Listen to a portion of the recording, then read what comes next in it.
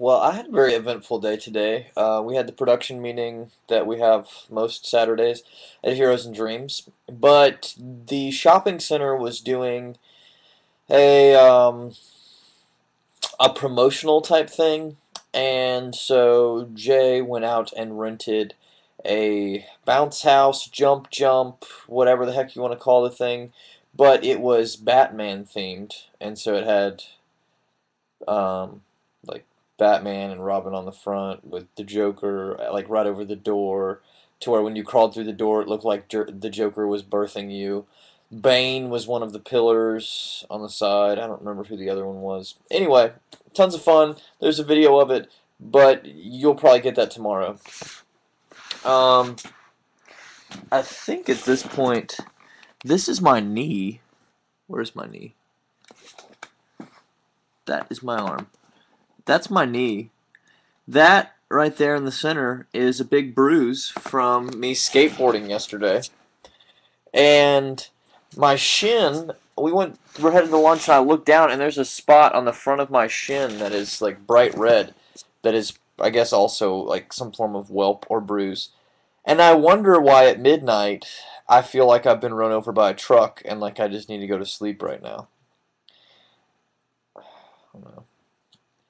There's something that I know is odd about me, and I learned it a long time ago. Not all that long ago, like three, four years ago, while I was in college.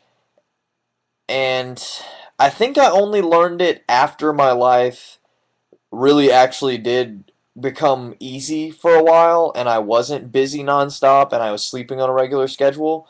I learned basically if I sleep on a regular schedule for two days and don't have something that just physically kills me or that I just get worn out from in as far as physical labor or walking a lot or whatever in those two days and I get back on a normal schedule, I won't be able to sleep.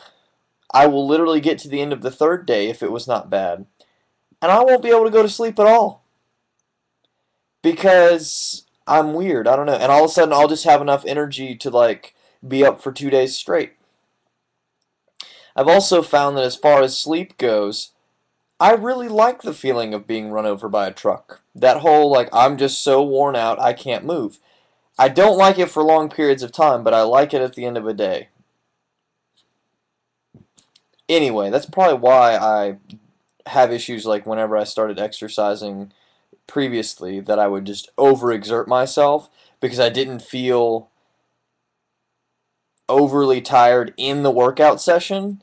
But then if I did that and I got to the point where I actually couldn't lift the weight anymore and I was still at the gym, that's not good because I would end up not being able to move the next day and it's just not not a good process. That's part of why I think I have issues with just getting huge because I can work out to that point. I can lift a huge weight or a big weight for me but I can't do beat myself up that consistently. Like I just I go too far with it. I've never really found that medium place.